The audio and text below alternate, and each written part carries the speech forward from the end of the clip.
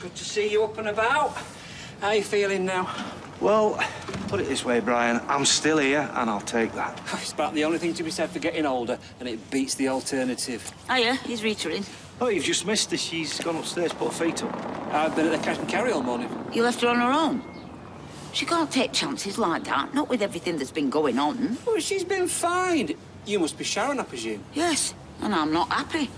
Anyone could have walked through that door, shoved her over and ransacked the till. Well, you don't need to worry about me. I don't have the strength to ransack anything.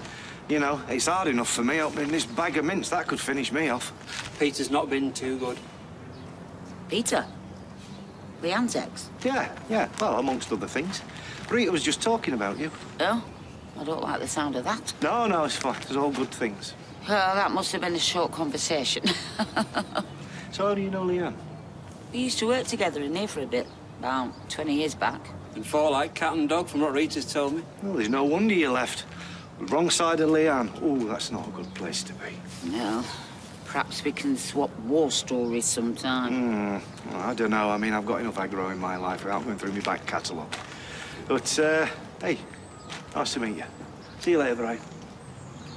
Oh dear, been so busy gossiping, forgot to give him his change. Oh, don't worry.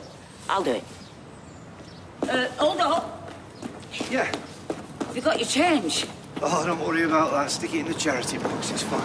Oh, we could stick it behind the bar at the Rovers and buy ourselves a drink. Well, I don't think 20p's going to go very far. no, no, I don't think it's a good idea. Uh, Mrs. can be the jealous type. I'm just trying to make some friends around here. Uh, look, sorry, I, I'm, I'm not jumping to conclusions or anything like that. It's just that I'm knackered, you know. And if you're looking for conversation, then I think you could do a lot better than me at the moment. I'll see you later.